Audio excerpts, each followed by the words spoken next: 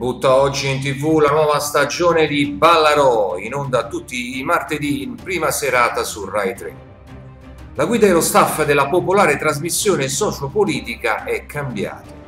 Giovanni Floris, detto Giova, lascia Ballarò dopo 12 anni di conduzione per andare a far concorrenza sulla 7 con la nuova trasmissione di martedì, portando con sé il satiro comico Maurizio Crozza anche lui lascia Balarò dopo sette anni di esilaranti copertine.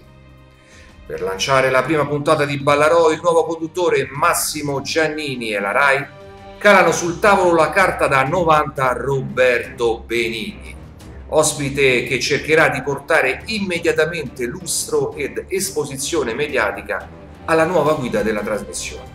Ma alla stessa ora, sulla 7, il collaudato team Floris Ballarò cercherà di strappare ascoltatori alla RAI con il talk show politico appunto di martedì. Non sarà facile per Giannini e Ballarò competere con una macchina collaudata e radicata come quella di Floris e Crozza. Staremo a vedere chi la spunterà nella dura battaglia dello share. Nella prima puntata di Ballarò non ci sarà il presidente del Consiglio Matteo Renzi che deserterà per impegni anche la concorrente di martedì.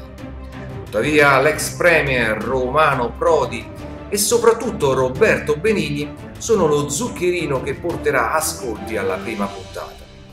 Il piccolo diavolo toscano appare in tv gratis, un regalo a sorpresa ben gradito a Ballarò e alla RAI.